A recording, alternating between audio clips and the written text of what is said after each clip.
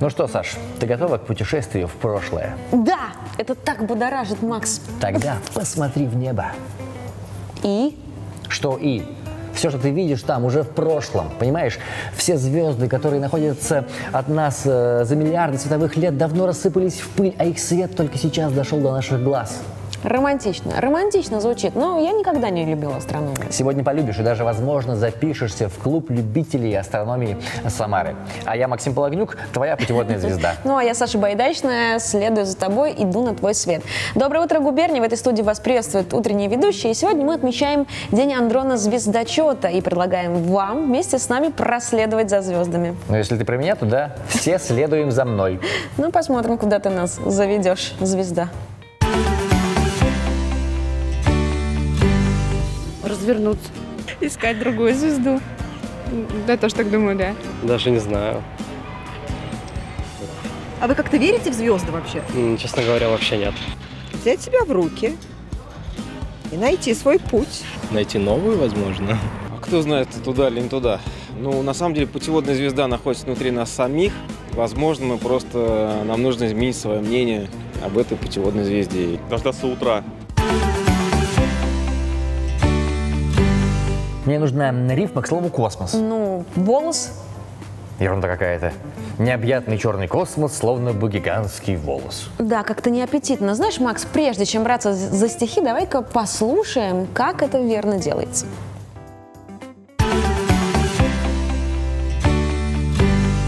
Жили-были, не знаю кто, не знаю с кем. Раз пошел, не знаю кто, не знаю зачем.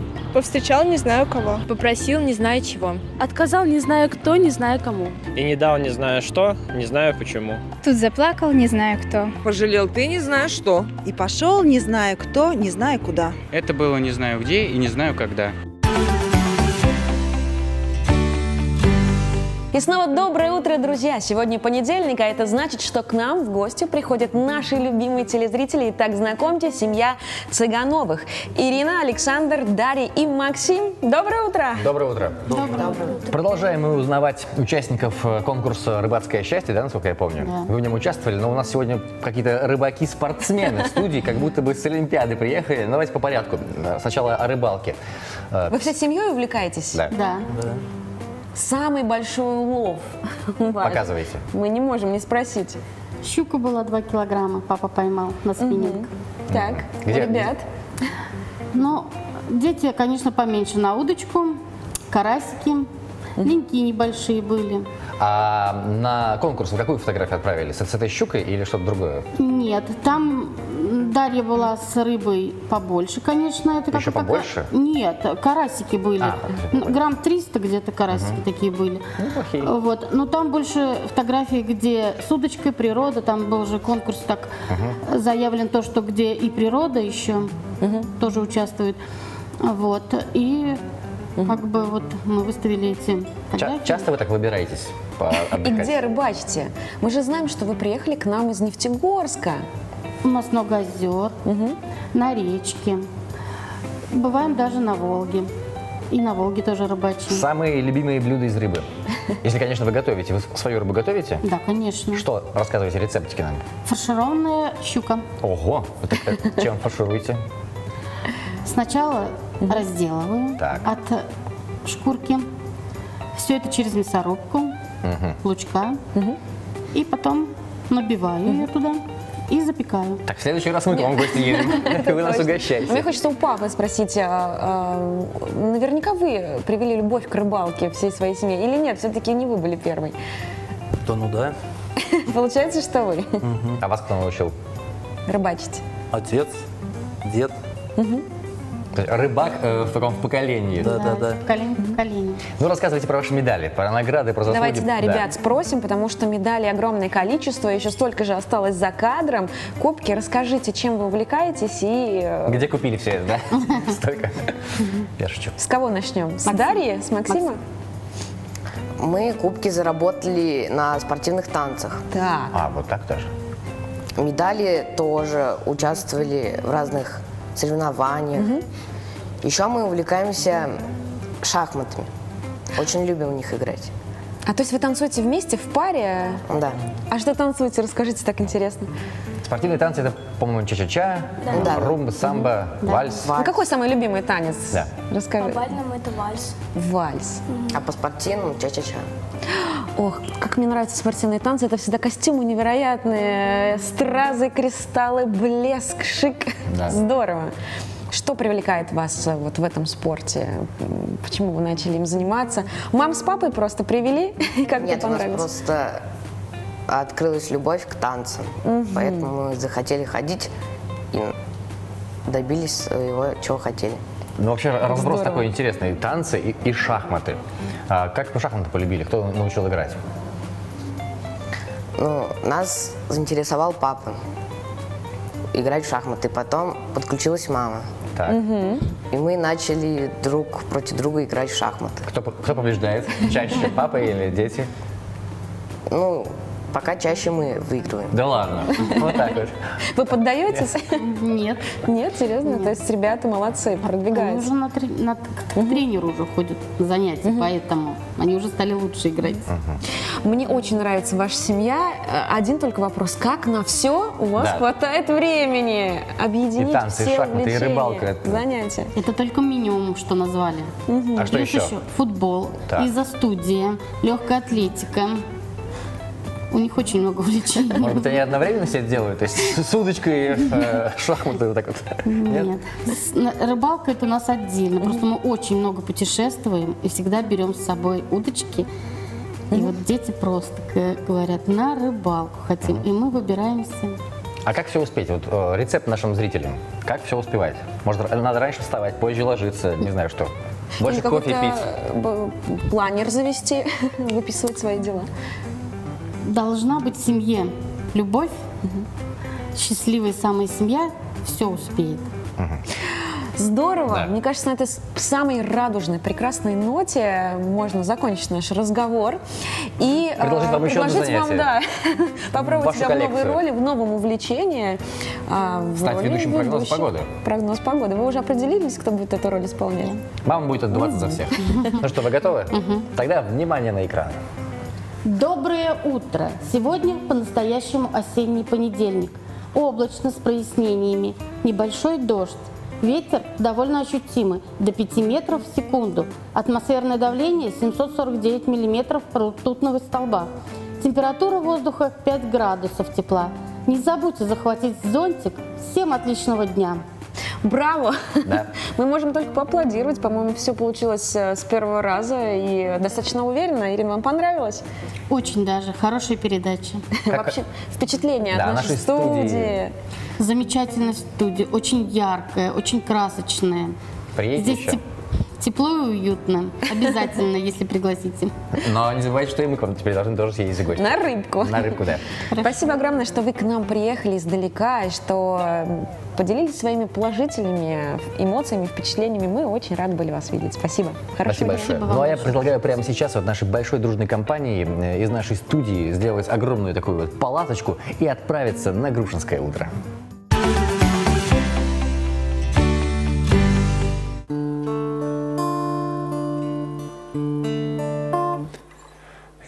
Если б не было тебя, скажи, зачем тогда мне жить?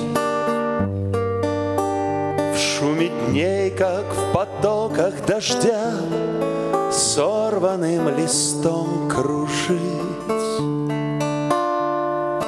Если б не было тебя, я б выдумал себе любовь. Твои в ней искал бы черты И убеждался вновь и вновь Что это все ж не ты Если б не было тебя То для кого тогда мне быть? День за днем находить и терять, Ждать любви, но не любить. Если б не было тебя, Я б шел по миру как слепой, В гуле сотен чужих голосов Узнать, пытаясь голос твой. И звук твоих шагов.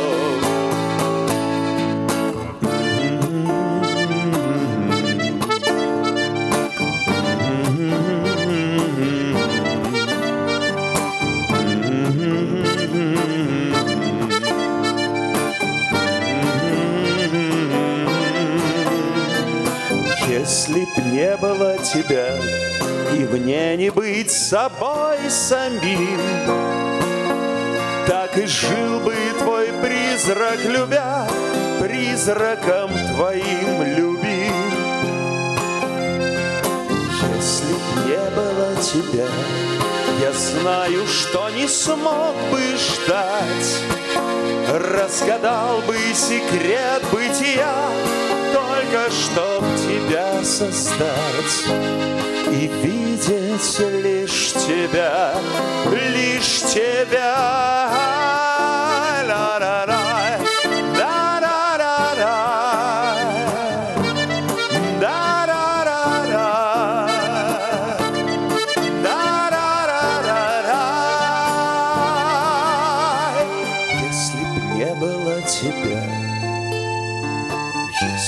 не было тебя, если б не было тебя, если б не было тебя, а если б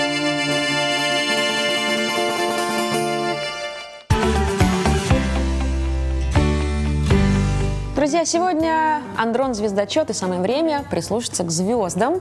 А в этом нам поможет астролог Анна Бужан, наш постоянный эксперт. Доброе утро. Доброе утро. Доброе утро. Так удачно сошли звезды, что э, в день, когда мы говорим об астрономии, в гостях астролог. Но мы всегда стараемся делать так, чтобы любые знания, там, научные или околонаучные, шли нам на пользу. Пригодились. Да. Как нам вот, э, помогает астрология? Астрология. Давайте сегодня с вами рассмотрим такую очень, наверное, животрепещущую тему, да, тему финансов. О, да. да. А, И рассмотрим ее поподробнее, потому что рассмотрим те моменты, которые действительно рекомендации подходят каждому, наверное, человеку для того, чтобы их материальное состояние увеличилось. Астрология действительно уделяет этому вопросу особое внимание и раскрывает это. А, Можно рассмотреть второй дом натальной карты.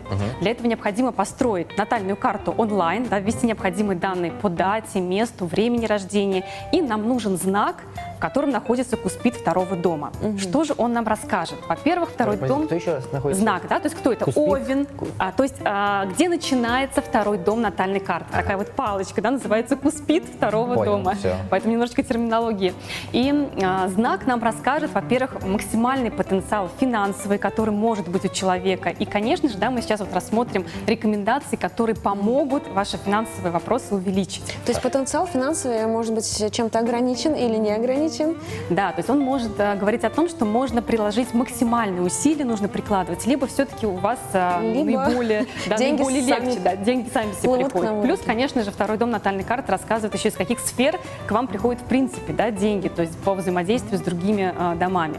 Итак, если у нас второй дом натальной карты расположен в знаке Овна, Так. то, конечно же, Овен, он знак, который говорит о таком активном действии, о эмоциональности. И для того, чтобы да, финансовый вопрос а, увеличивался, почему мы сейчас очень тонкую такую грань переходим? Потому что второй дом натальной карты говорит еще о моем ресурсном состоянии. То есть если я буду находиться не в ресурсе, не в гармонии, то что бы я ни делала, мои финансы не будут увеличиваться, я буду просто как, не знаю, там, бег на одном месте. Да, Это для всех называется. тоже, для всех знаков. И это для всех знаков, да. Но мы сейчас э, говорим про, например, про знак Овна. Что нужно делать Овну? Конечно же, Овну не нужно пассивничать, да, то есть ему нужно вести активную деятельность, активно заниматься спортом. И даже в работе, в профессиональной деятельности нужно принимать такую соревновательную позицию. То есть ему важен такой драйв, важно движение вперед, а, важна активная роль. Если он будет заниматься да, рутинными вопросами, пассивными вопросами, то он будет находиться действительно в таком удручающем состоянии. По теме финансов можно, наверное, забыть. Давайте к, да- к следующему знаку переходить. Да, знак тельца. Так. Это в первую очередь про гармонию, про эмоциональность, про комфорт. И, конечно же, вот кто э, нах- находится в знаке тельца, им важно создать уют вокруг себя. Если вы пришли пришли на работу, пусть у вас будет все красиво, эстетично, лаконично. И для, для тельцов очень важно, чтобы было спокойное эмоциональное состояние. То есть, а, если рядом партнер, то с ним нельзя быть в ссоре, да, то есть, чтобы, если семья, то такие гармоничные отношения. Если что-то здесь идет не так, то это их, конечно же, выводит полностью из себя.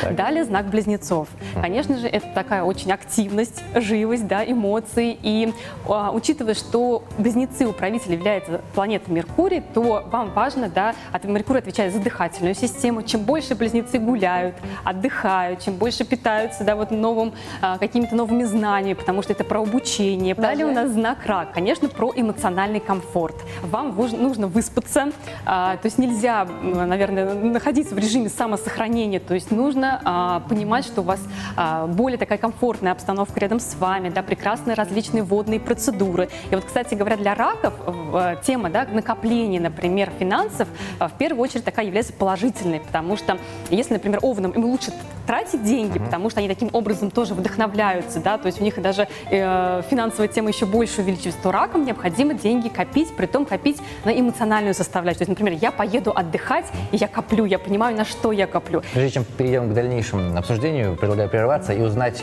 еще что-то интересное и новенькое от Юлии Севера, а потом снова за финансы возьмемся.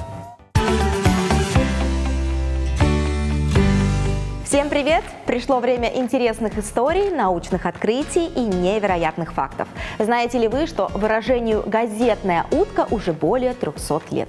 В конце 17 века редакторы немецких газет, печатая сенсационные, но непроверенные материалы, ставили на полях пометку «НТ», что означало «непроверено». На слух это «НТ» звучало как «утка» по-немецки. Так птица отождествляла с журналистской ложью. Существует, правда, и более забавные объяснения. Так, во Франции в 1776 году земледельческая газета опубликовала статью о способе ловли уток на желудь. Перед охотой желудь якобы вымачивали в слабительном и привязывали к нему веревку. Утка проглатывала наживку, а потом желудь покидал ее кишечник. По утверждению газеты, до 20 уток таким образом могли попасться на веревку и унести в небо охотника. Чуть, чуть позже барон Мюнхгаузен использовал для подобной ловли уток кусок сала. Происхождение выражения связывают и с бельгийцем, с бельгийцем Робертом Корнелисоном, который в 1815 году вздумал испытать степень легковерности публики и опубликовал в одном э, из журналей газ- э, заметку о прожорливости уток. В ней он написал, как одна утка съела 19 своих сородичей. После выхода в свет этой истории все только и говорили о невероятном феномене. Однако через некоторое время автор все-таки рассказал о своем розыгрыше. С тех пор недостоверную информацию, появившуюся в печати, принято называть газетной уткой. Надеюсь, со мной вам было интересно. Доверяйте только проверенным новостям. Пока! Продолжаем наш эфир, продолжаем говорить о финансах, как нам в этом могут помо- по- помочь звезды. И а, Анна Бужан, астролог у нас в гостях. Еще раз доброе утро. Мы остановились на каком знаке? Раков прошли, следующий. Теперь у нас лев. Продолжаем. Да, льву главное а, проявить себя, выделиться. И, конечно же, учитывая, что управителем знака льва является солнышко, то есть чем больше вы получаете положительных эмоций, чем больше вы светите остальным, вы правда заряжаетесь. То есть льву важно да, показать себя, не знаю, там, выступить с проектом, а, пойти на какое-то культурно-развлекательное заведение, блеснуть собой. То есть вы все, вы уже вдохновились, вы уже напитались, купить что- себе что-то красивое, что-то завораживающее, то есть порадовать себя. И, конечно же, льву важно, правда, тратить деньги. То есть важно тратить деньги на эмоциональную составляющую. Тогда а, к нему придет новое, наверное, вдохновение, озарение, то есть такой определенный плюс. Далее у нас знак Девы. Вот здесь, да, если льву важно продемонстрировать себя, то Деве важно, чтобы везде был порядок. Наведите порядок дома, систематизируйте свои документы, наведите порядок кошельке вокруг себя, да? да, в кошельке. То есть все вам ком- будет комфортно. То есть и все, само собой, пройдет абсолютно благополучно. Если же у нас знак весы, то, конечно же, весы за гармонию, за общение, за коммуникацию. А, Будьте больше, да, посещайте выставки, посещайте мероприятия, а, вдохновляйтесь, да, пойдите в кино, пообщайтесь со своими друзьями. Это уже будет определенный плюс для вашего ресурсного состояния. Скорпион очень такой глубокий знак, очень эмоциональный, у них очень много энергии внутри, и важно ее уметь расходовать. Поэтому спорт плюс а, медитации, психологические разгрузки, а, какие-то практики, да, духовные в том числе. То есть скорпиону важно э, мало того, что активничать, но и важно еще и работать со своей энергией. Далее знак Стрельца. Конечно же, Стрелец – это а, за путешествия, за новые эмоции, за новые знания. То есть чем больше они погружаются в новый материал, тем больше они изучают, тем, чем больше у них вообще кругозор шире, тем у них и идеи приходят гораздо больше и эффективнее. Козерог. Но здесь тоже за определенный такой порядок, структуру, контроль. То есть если у них все, наверное, в рутине, все смешалось, то все, они будут находиться просто в полном, наверное, ауте, шуме, да, то есть им будет очень сложно вообще прийти в себя, поэтому все контролируем, структурируем, то есть для них это действительно эффективно. И знак Водолея. Водолей, конечно же, у нас за общение, за новые эмоции, за новые какие-то нестандартные, наверное, пути решения вопросов, порой, там, не знаю, там, прыгнуть с парашюта, а, пробежать какую-то, не знаю, там, дистанцию, то, что, наверное, странно для остальных знаков, для водолеев будет, конечно же, в плюс. И у нас остается знак рыбы. Рыбы, конечно же, про такое определенное замедление, поэтому вам плюс это творчество, а, отдых, связанный с водой, а, опять же, медитативные практики, погружение в эти моменты, поэтому это является, конечно же, таким вот плюсом. И напоминаю, что определить можно а, по натальной карте, смотрим не кто вы по знаку зодиака, а где находится ваш второй дом натальной карты. Кажется, я понял. На самом деле формула такая. Нужно понять, что тебя вдохновляет, воодушевляет, мотивирует, и направить энергию в это русло, и деньги к тебе потянутся. Я правильно? Абсолютно верно. Да. Да. Прислушайтесь к себе. Анна, на этой неделе нас ожидают какие-то волнения, может быть, или э, э, звездные явления? Или наоборот, нужно куда-то бежать быстрее. Но на самом деле, я хочу сказать, э, наступает все равно в эмоциональном плане достаточно благоприятный период, потому что завершился ретроградный Меркурий. И могу сказать, что большинство планет да, э, было просто в ретроградном положении практически весь октябрь, то сейчас в эмоциональном плане, правда, наступает период более такой гармоничный. То есть вы будете ощущать себя а, спокойно, да, то есть не будет вот это вот терзания эмоциональных рвений, да, когда нужно было идти в спортзал и максимально все это прорабатывать. То есть сейчас действительно будет более спокойный период, Спокойно? можно будет выдохнуть. Посидим на карантине. Да, отдохнуть. Анна, спасибо огромное за эти позитивные новости. Вам хорошего дня и чудесного настроя. Спасибо. Спасибо. Друзья, вы оставайтесь с нами. Впереди еще очень много интересного. Мы поставим на паузу наш эфир, а затем вновь вернемся в нашу студию.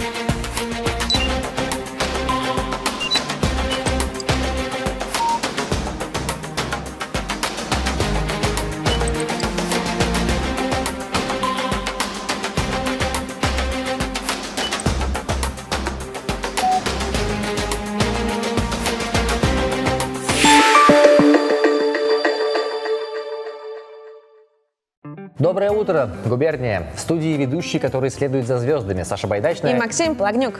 Ну а, кстати, Макс, что было до Большого Взрыва? Да не знает никто, что было до Большого взрыва. Ну а границы у Вселенной хотя бы есть? Ну как бы есть, но непонятно, что за ними. Что за наука такая астрономия? Одни загадки. Между прочим, благодаря этой науке появилась э, э, календарная смена времен года.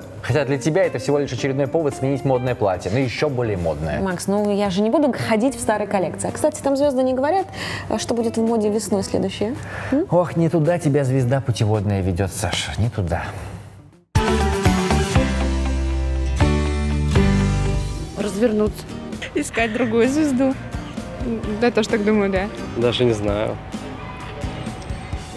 А вы как-то верите в звезды вообще? М, Честно говоря, вообще нет. Взять себя в руки и найти свой путь. Найти новую, возможно. А кто знает, туда или не туда? Ну, на самом деле, путеводная звезда находится внутри нас самих. Возможно, мы просто... Нам нужно изменить свое мнение об этой путеводной звезде. Дождаться утра. Продолжаем говорить о звездах, и к нам в гости пришел Сергей Аверьянов, заместитель директора Самарского клуба любителей астрономии «Астро Самара». Доброе утро! Доброе утро. Слушай, ну когда, было, когда ты был в прошлый раз у нас в гостях, как-то было попроще, а теперь заместитель, директор, то есть клуб как-то развивается, растет. Конечно. Что происходит? Вре- время идет, клуб у нас растет. Сейчас у нас постоянных членов уже больше 40. И несмотря на особенность пандемии, мы проводим мероприятия, у нас все успешно, растем. Ну, рассказывайте скорее про астрономические явления, которых, э, которые мы ждем в ближайшее время. Что До конца года у нас, конечно, осталось уже не так много времени, больше двух месяцев. Но, тем не менее, в этом году еще есть что посмотреть и чего ожидать. Во-первых, у нас э, ежегодный поток геминиды, который происходит в Что декабре. это? Ну, Это обычно его называют звездный дождь, но правильно говорить метеоритный поток. То есть наша планета входит в хвост атмос- э, от кометы, и в атмосферу нашу попадает много-много различного мусора, который, сгорая, образует это вот красивое явление, когда у нас такие звездочки прочерчивают Это когда? всё небо. Когда это будет? Это будет в декабре. Это будет То видно невооруженным глазом? Да. Просто выглянули в? Ну, конечно, нужно будет выехать за город куда-нибудь подальше желательно, чтобы не мешала нам засветка, не мешала атмосфера. Кстати, этим летом я путешествовала на теплоходе, и там так здорово видно звезды. Даже на телефон можно их сфотографировать. А если поехать еще в правильное место, будет еще лучше видно. Ну давайте рассекретим правильное место. Это где? Или это секрет? У нас есть свое место, оно не такое открытое. Понял, хорошо. Но чем дальше, тем лучше. Желательно на юг нашей области, километров за 100, О. и будет отличное небо уже, Мгм. приятное. Подальше от населенных пунктов и каких-то еще следов деятельности человечества. Итак, в декабре мы увидим звездный дождь. Что Да. еще? Вернемся. Также еще в этом году уже предполагается, что мы увидим интересную комету, которую можно будет увидеть невооруженным взглядом. То есть также, выйдя на улицу, знав, куда посмотреть, можно будет ее увидеть и на нее полюбоваться. Конечно же, если у вас есть бинокль, либо телескоп, либо еще какой-то там фотоаппарат, например, то можно будет еще лучше ее увидеть. Так что смотрим в интернете, когда ее пик, следим за новостями и в эти дни ловим отличную погоду, наблюдаем комету и метеорный поток. Я так понимаю, что вы вот в эти периоды будете собираться вашим клубом, отправляться за 100 километров на юг. Конечно. И как вот э, кто-то, кто-то захотел к вам примкнуть, попасть в это секретное место ваше, ваш клуб, как это сделать? Вообще в наш клуб, чтобы сейчас вступить, нужно, естественно, писать нам в первую очередь, ознакомиться с правилами членов клуба. Э, Мы сейчас немножечко их сделали более жесткими. Так, То есть Нужно нужно, иметь свой телескоп, может быть? нужно проявить большое желание.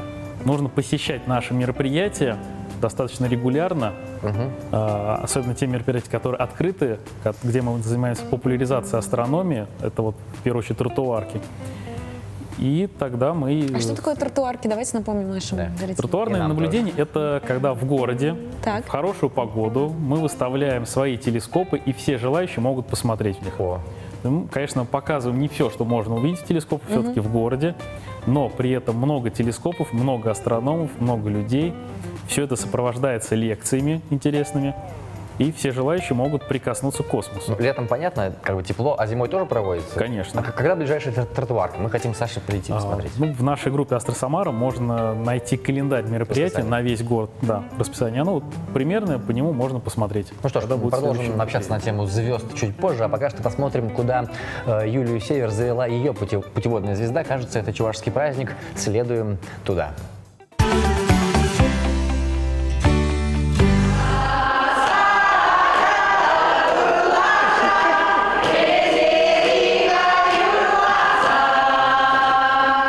Чувашская культура богата праздниками, традициями и обычаями. В старину люди после трудового дня собирались вечерами вместе на веселые посиделки, пели песни, водили хороводы, рукодельничали.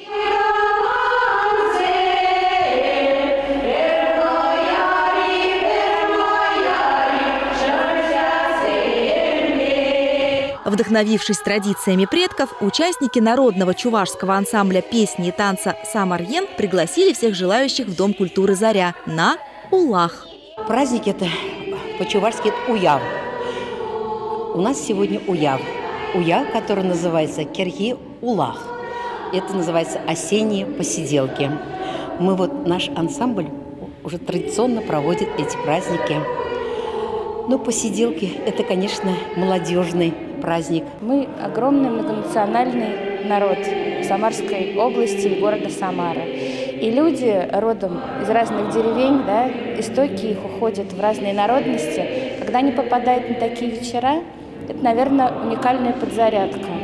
Осенние посиделки устраивали молодые девушки. Собирались обычно дома у той, чьи родители уехали в гости или в доме одинокой бабушки. Девушки приходили с рукоделием, вышивкой, вязанием. Потом с гармошкой и веселыми песнями на улах заглядывали парни. Они оценивали работы мастериц и присматривали себе невесту.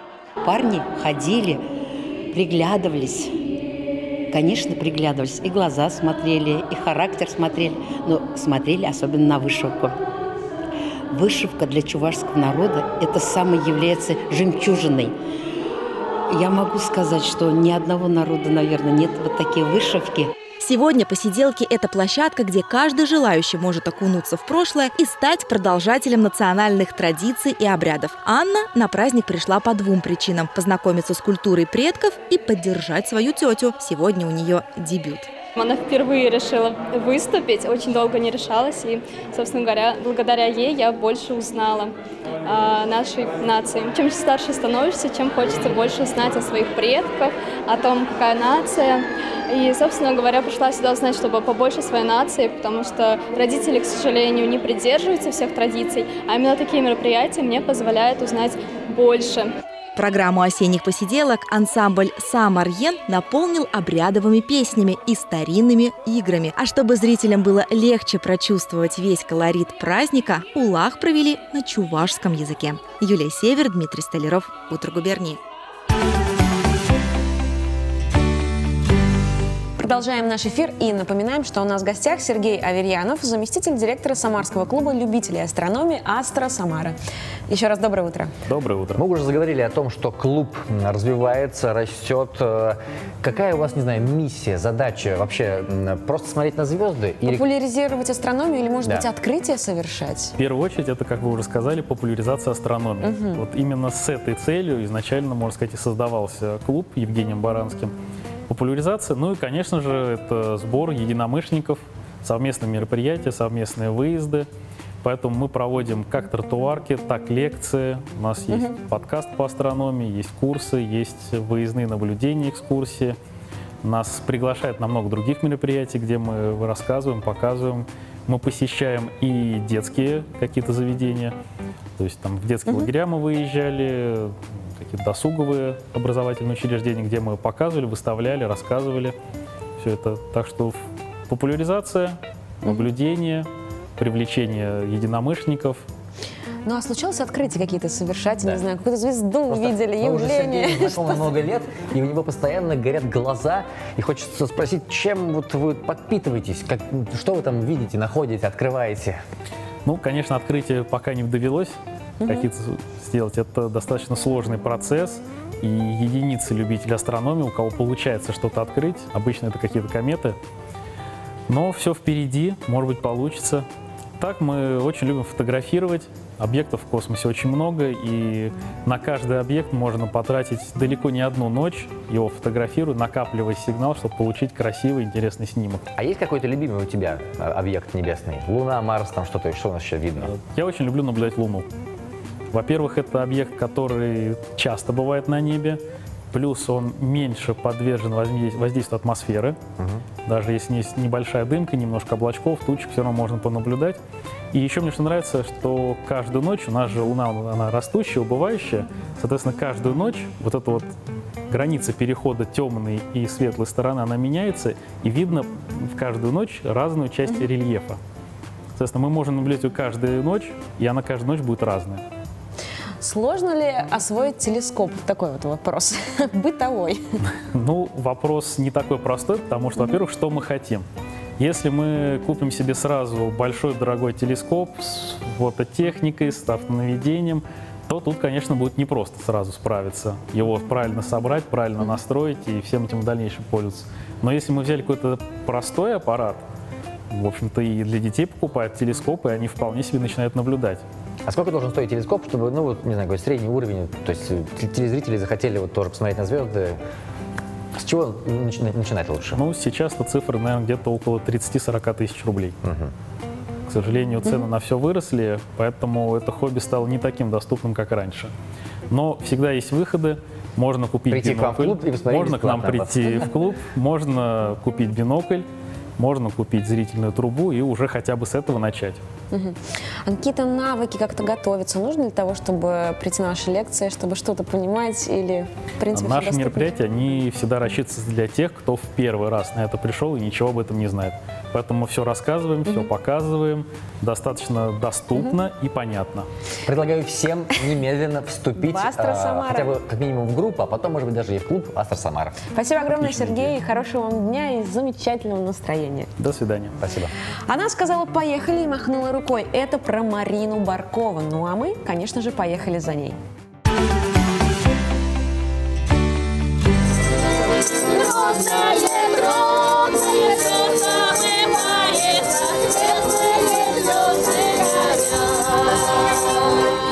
На мельнице Купца Маркова участников пресс-тура «Поехали» встречали казачьи песни и щедрым застольем. На самом деле это место не только для гастрономических утех, а скорее для расширения краеведческого кругозора. Перед тем, как зайти в здание, мне хочется обратить внимание на его дизайн. Это старопромышленный дизайн.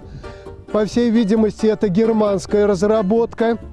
И оборудование было немецкое, польское, английское, то есть международная вот такая торговля. Понятие «сельский туризм» в поселке Красный Строитель, а в прошлом это был хутор-завод, раскрывается в полной мере. Старинную мельницу спас от разрушения и восстановил один очень скромный челновершинец – Василий Седых. Заброшенная постройка в его заботливых руках обрела крышу и наполнилась предметами сельского быта последних 120 лет. Это шерсточесальная машина. Посмотрите, вальцы. Можно их потрогать. Они вот такие вот со щеточкой металлической. Это валы. Сюда раскладывалась овечья шерсть, привод с той стороны. И вот таким вот образом а шерсть проходила через эти вальцы. И э, получался тот слой, который шел на пряжу и уже потом на, т- на на ткани. В начале прошлого века здесь работали только каменные жернова. Потом вальцы, и в советский период колхозники подмонтировали роторные молоточковые механизмы. Еще в начале нулевых мельница купца Маркова обслуживала племзавод «Красный строитель», производила корм для скота и муку для населения. Все равно мельник для своих друзей и для себя получал муку с жерновов.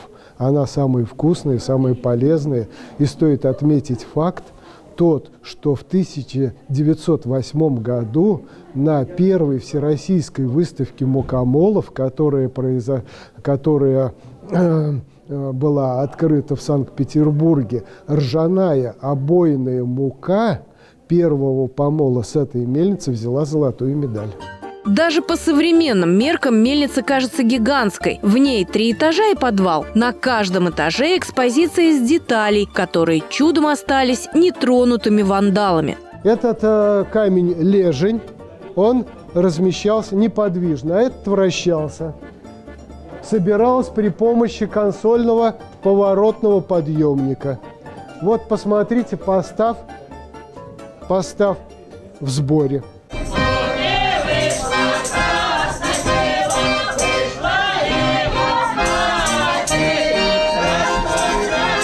В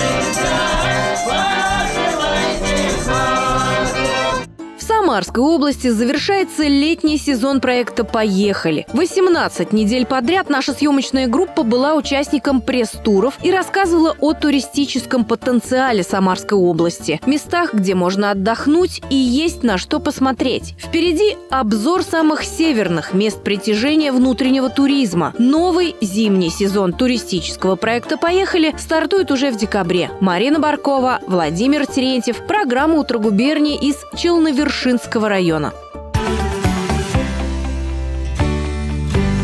Ну что ж, на этом все. Чаще смотрите в небо и мечтайте, но не забывайте про лужи под ногами. С вами были утренние ведущие Максим Пологнюк. И Саша Байдачная. Хорошего дня вам и отличного настроения, друзья. Пока.